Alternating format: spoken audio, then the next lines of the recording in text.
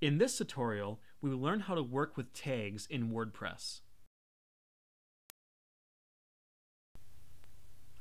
Go ahead and log into the back end of your WordPress website. We're going to focus on tags today. Now, in my previous tutorial on how to create a post, I briefly went over what tags are. Here, I'm going to focus a bit more on them. And so if we go to Post Tags under the Post menu option, we are brought to the page where we can here define tags and then write descriptions out for them and keep them here so that when we write posts, we can just grab them from this list in the future. So this is pretty self-explanatory. As I explained before in my previous uh, tutorial, a tag basically allows you to specify contents of a post.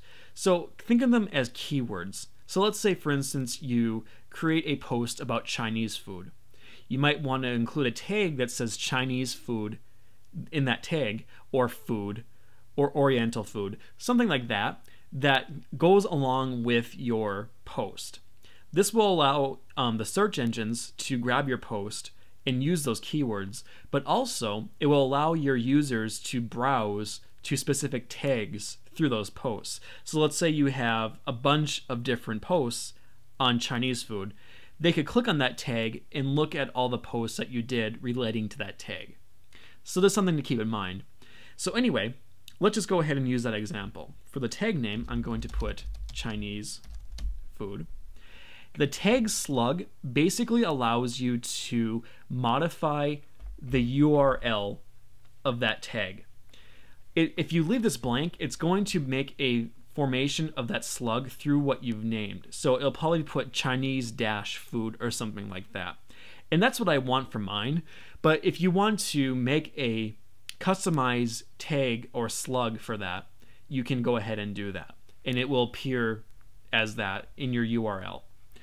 And then for the description, you don't have to do this. However, this is good if you have a bunch of different tags and you would like to define them in some way so when you're looking through them, you know what you're using them for.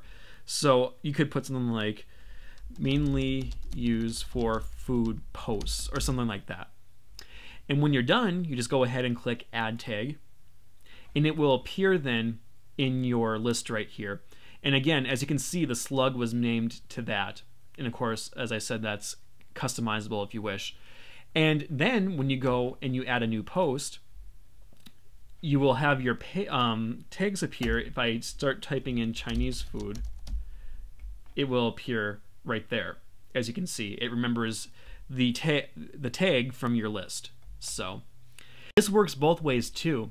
If you're if you put in a new tag right here, let's just say you put in Mexican food, and then we add this, you can see it's right there, and then we update the page.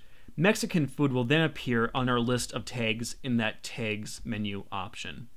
So you can do it both ways, and then you can go back there and add a description if you so choose to. Anyway, that is basically how you use tags. I have more tutorials coming soon, so stay tuned.